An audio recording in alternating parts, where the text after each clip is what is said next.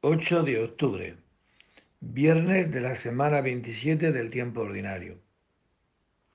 Dios mío, ven en mi auxilio. Señor, date prisa en socorrerme.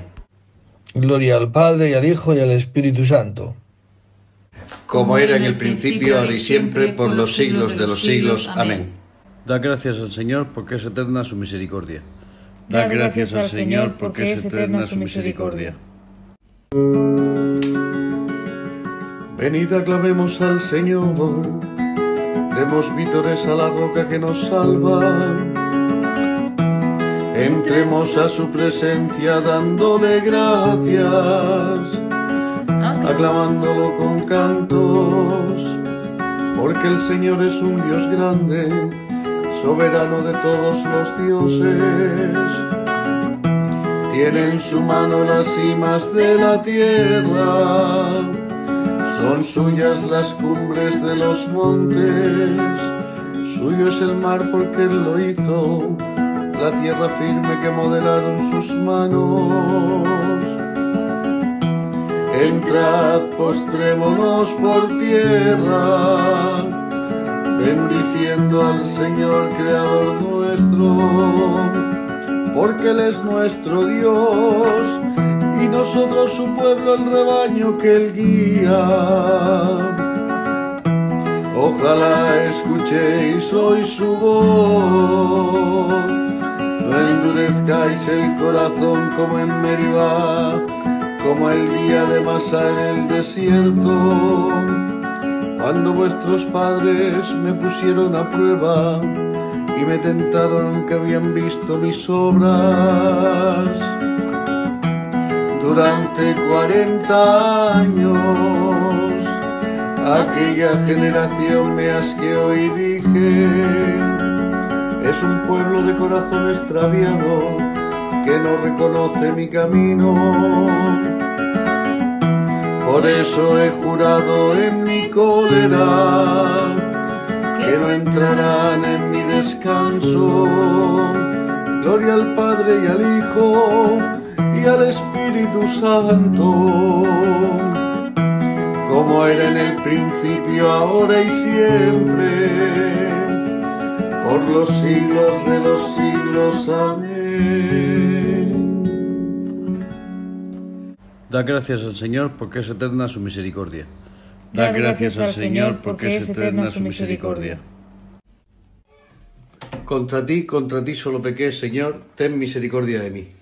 Contra ti, contra ti solo pequé, Señor, ten misericordia de mí.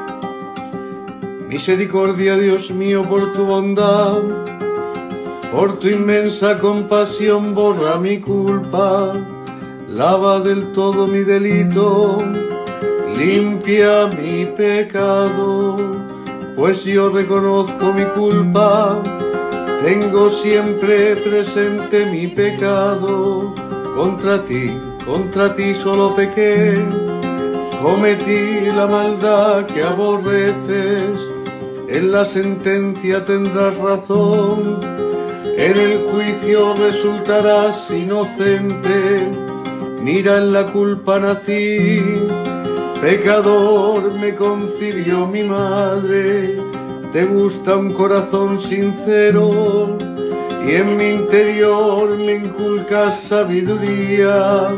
Rocíame con el hisopo, quedaré limpio.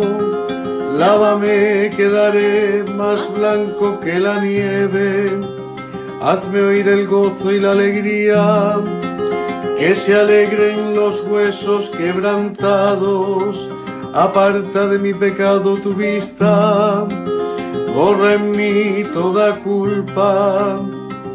Oh Dios, crea un corazón puro, renuévame por dentro con espíritu firme. No me arrojes lejos de tu rostro, no me quites tu santo espíritu, devuélveme la alegría de tu salvación afianzame con espíritu generoso, enseñaré a los malvados tus caminos, Los pecadores volverán a ti. Líbrame de la sangre, oh Dios, Dios Salvador mío, y cantará mi lengua tu justicia. Señor, me abrirás los labios y mi boca proclamará tu alabanza. Los sacrificios no te satisfacen. Si te ofreciera un holocausto, tú no lo querrías.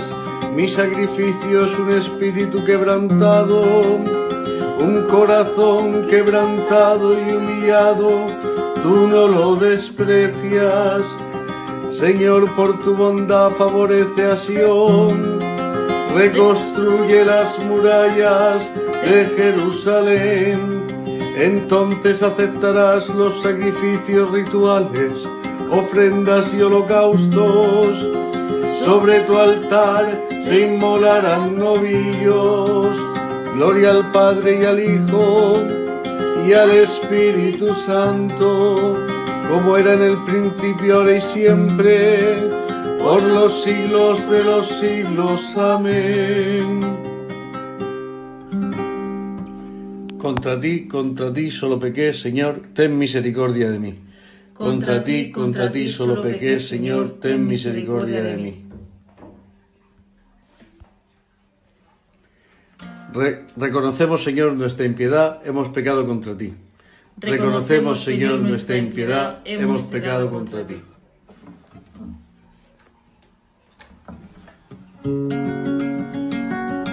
Mis ojos se deshacen en lágrimas, día y noche no cesan. Por la terrible desgracia de la doncella de mi pueblo, una herida de fuertes dolores. Salgo al campo muertos a espada, entro en la ciudad desfallecidos de hambre. Tanto el profeta como el sacerdote vagan sin sentido por el país, porque ha rechazado del todo a Judá, tiene asco tu garganta de Sion, porque nos has herido sin remedio. Se espera la paz y no hay bienestar. Al tiempo de la cura sucede la turbación. Señor, reconocemos nuestra impiedad, la culpa de nuestros padres, porque pecamos contra ti. No nos rechaces por tu nombre, no desprestigies tu trono glorioso. Recuerda y no rompas tu alianza con nosotros. Gloria al Padre y al Hijo y al Espíritu Santo, como era en el principio, ahora y siempre, por los siglos de los siglos. Amén. Reconocemos, Señor, nuestra impiedad, hemos pecado contra ti. Reconocemos, Señor, nuestra impiedad, hemos pecado contra ti. El Señor es Dios y nosotros somos su pueblo y ovejas de su rebaño. El Señor es Dios y nosotros somos su pueblo, ovejas de su rebaño. Aclama al Señor tierra entera, servid al Señor con alegría. Entrad en su presencia con vítores. Sabed que el Señor es Dios, que Él nos hizo y somos suyos, su pueblo y ovejas de su rebaño. Entrad por sus puertas con acción de gracias, por sus atrios con himnos, dándole gracias y bendiciendo su nombre. El Señor es bueno, su misericordia es eterna, su fidelidad por todas las edades. Gloria al Padre y al Hijo y al Espíritu Santo, como era en el principio, ahora y siempre, por los siglos de los siglos. Amén. El Señor es Dios y nosotros somos su pueblo, ovejas de su rebaño. El Señor es Dios y nosotros somos su pueblo, ovejas de su rebaño. De la segunda carta a los Corintios. Muy a gusto presumo de mis debilidades, porque así residirá en mí la fuerza de Cristo. Por eso vivo contento en medio de mis debilidades, de los insultos, las privaciones, las persecuciones y las dificultades sufridas por Cristo, porque cuando soy débil, entonces soy fuerte. Palabra de Dios. Te alabamos, Señor. En la mañana hazme escuchar tu gracia. En la mañana hazme escuchar tu gracia. Indícame el camino que de seguir. Hazme escuchar tu gracia. Gloria al Padre y al Hijo y al Espíritu Santo en la mañana hazme escuchar tu gracia.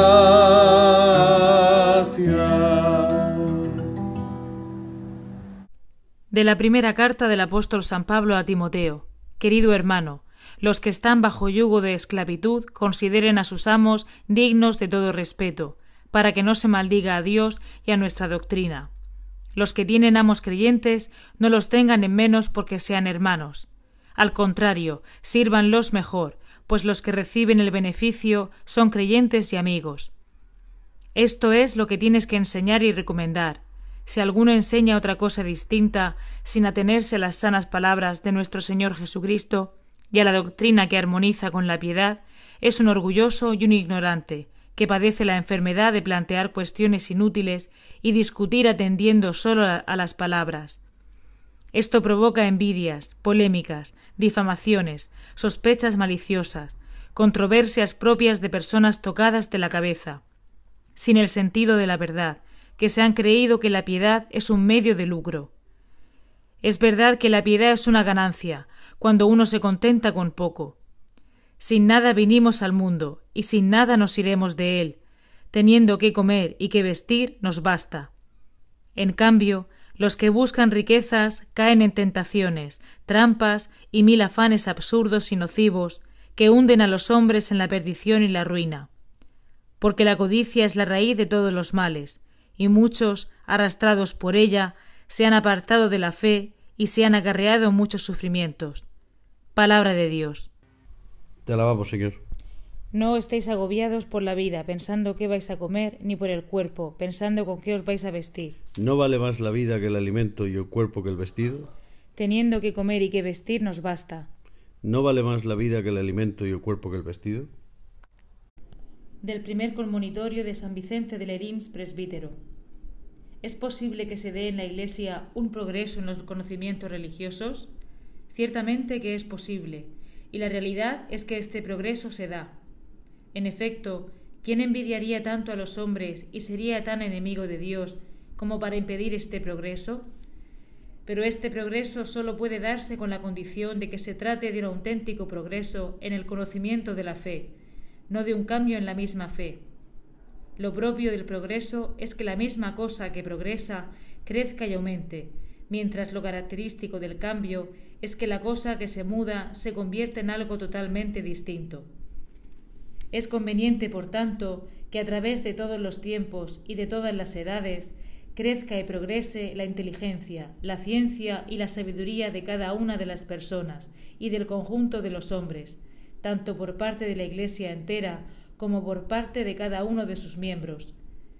Pero este crecimiento debe seguir su propia naturaleza, es decir, debe estar de acuerdo con las líneas del dogma y debe seguir el dinamismo de una única idéntica doctrina. Que el conocimiento religioso imite, pues, el modo como crecen los cuerpos, los cuales, si bien con el correr de los años se van desarrollando, conservan, no obstante, su propia naturaleza.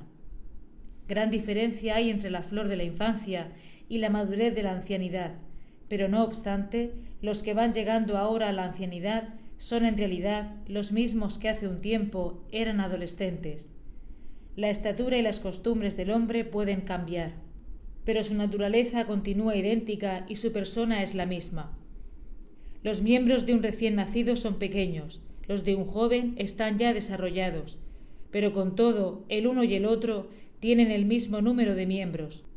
Los niños tienen el mismo número de miembros que los adultos, y si algún miembro del cuerpo no es visible hasta la pubertad, este miembro, sin embargo, existe ya como un embrión en la niñez, de tal forma que nada llega a ser realidad en el anciano que no se contenga como en germen en el niño. No hay pues duda alguna. La regla legítima de todo progreso y la norma recta de todo crecimiento consiste en que con el correr de los años vayan manifestándose en los adultos las diversas perfecciones de cada uno de aquellos miembros que la sabiduría del Creador había ya preformado en el cuerpo del recién nacido. Porque si aconteciera que un ser humano tomara apariencias distintas a las de su propia especie, sea porque adquiriera mayor número de miembros, sea porque perdiera alguno de ellos, tendríamos que decir que todo el cuerpo perece o bien que se convierte en un monstruo, o por lo menos que ha sido gravemente deformado. Es también esto mismo lo que acontece con los dogmas cristianos. Las leyes de su progreso exigen que éstos se consoliden a través de las edades, se desarrollen con el correr de los años y crezcan con el paso del tiempo. Nuestros mayores sembraron antiguamente en el campo de la Iglesia semillas de una fe de trigo. Sería ahora grandemente injusto e incongruente que nosotros, sus descendientes, en lugar de la verdad del trigo, legáramos a nuestra posteridad el error de la cizaña. Al contrario, lo recto y consecuente, para que no discrepen entre sí la raíz y sus frutos, es que de las semillas de una doctrina de trigo recojamos el fruto de un dogma de trigo. Así, al contemplar cómo a través de los siglos aquellas primeras semillas han crecido y se han desarrollado, podremos alegrarnos de cosechar el fruto de los primeros trabajos del primer conmonitorio de San Vicente de Lerins, presbítero. Escucha Israel los mandatos y decretos que yo os mando cumplir. No añadáis nada a lo que os mando ni suprimáis nada. Las palabras que os he dicho son espíritu y vida. No añadáis nada a lo que os mando ni suprimáis nada. Del Santo Evangelio según San Lucas. En aquel tiempo, habiendo echado Jesús un demonio, algunos de entre la multitud dijeron, Si echa los demonios es por arte de Belcebú, el príncipe de los demonios.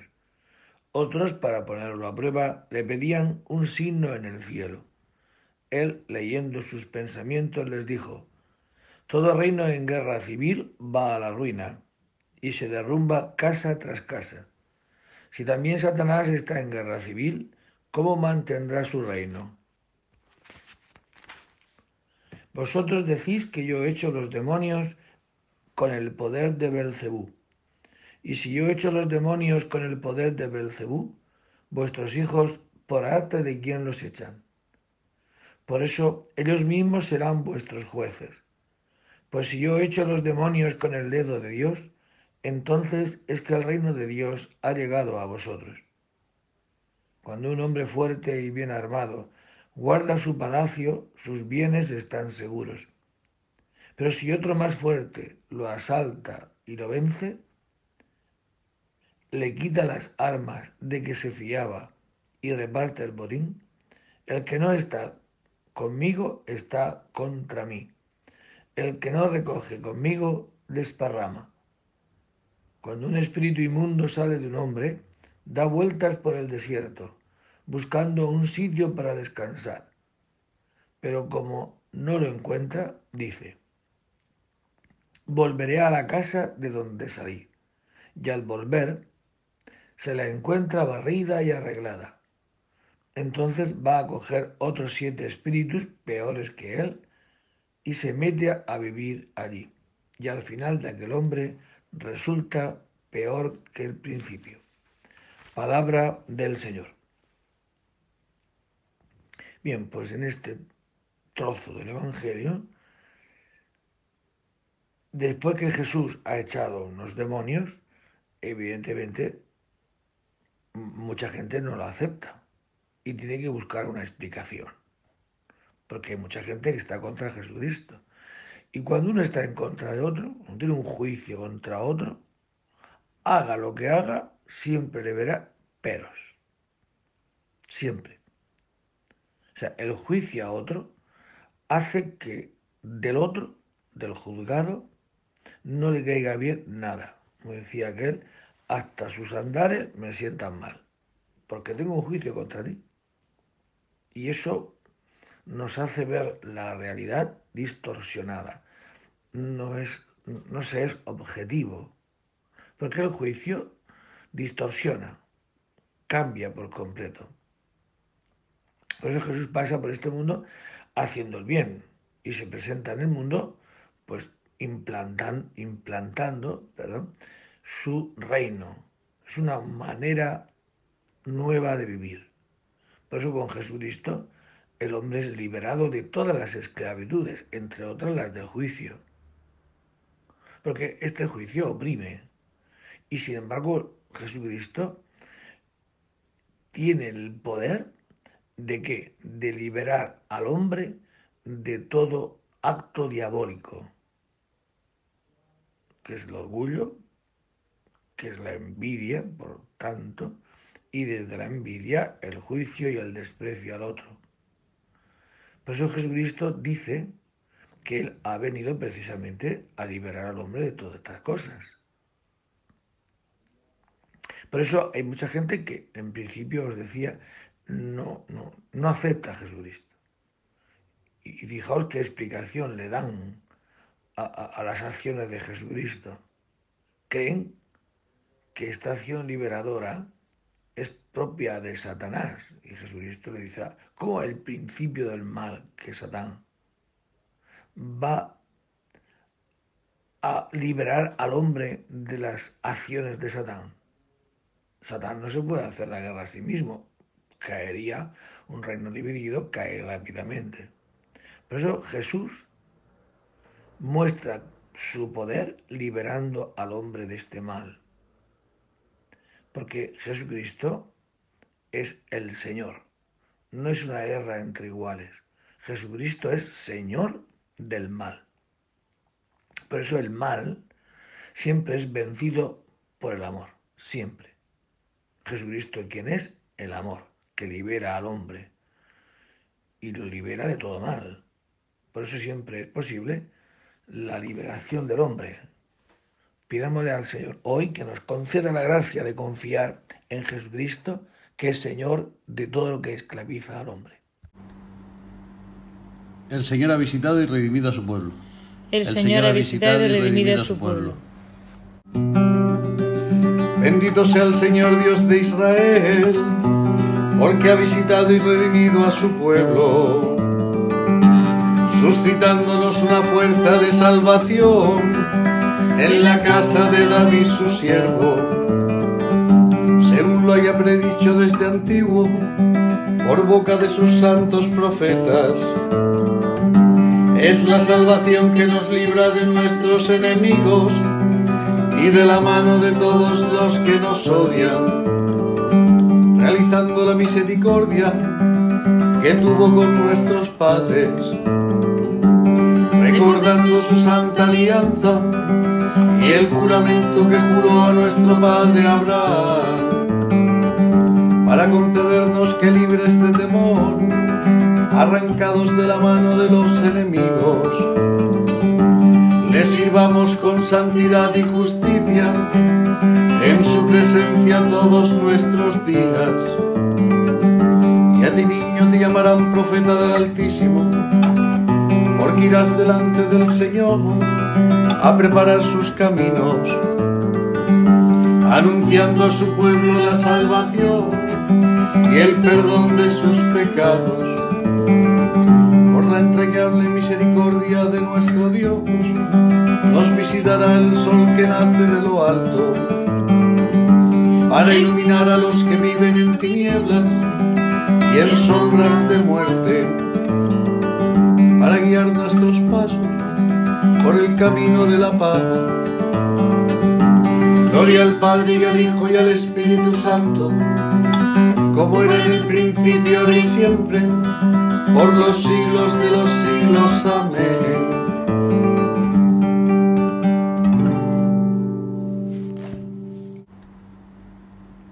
El Señor ha visitado y redimido a su pueblo.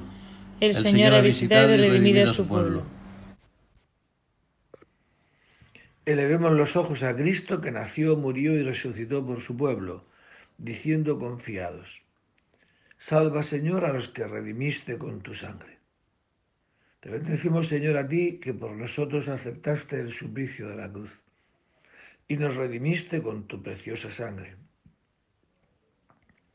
Tú que prometiste a los que en ti creyeran un agua que salta hasta la vida eterna, derrama tu espíritu sobre todos los hombres. Tú que enviaste a los discípulos a predicar el Evangelio, ayúdalos para que extiendan la victoria de la cruz a los enfermos y a todos los que has asociado a los sufrimientos de tu pasión. Concédeles fortaleza y paciencia. Llenos del Espíritu de Jesucristo, acudamos a nuestro Padre común diciendo, Padre nuestro, que estás en el cielo, santificado sea tu nombre. Venga a nosotros tu reino. Hágase tu voluntad en la tierra como en el cielo. Danos hoy nuestro pan de cada día. Perdona nuestras ofensas, como también nosotros perdonamos a los que nos ofenden. No nos dejes caer en la tentación y líbranos del mal. Ilumina, Señor, nuestros corazones y fortalece nuestras voluntades, para que sigamos siempre el camino de tus mandatos, reconociéndote como nuestro guía y maestro. Por Jesucristo nuestro Señor. El Señor esté con vosotros. Y la bendición de Dios Todopoderoso, Padre, Hijo y Espíritu Santo descienda sobre vosotros y permanezca para siempre. Buen día a todos. Que el Señor nos conceda hoy la alegría de saber que Jesucristo es Señor también de todo aquello que es principio del mal, del demonio y de sus consecuencias, de sus tentaciones. Buen día a todos. Podéis ir en paz. Demos gracias a Dios. Si el Señor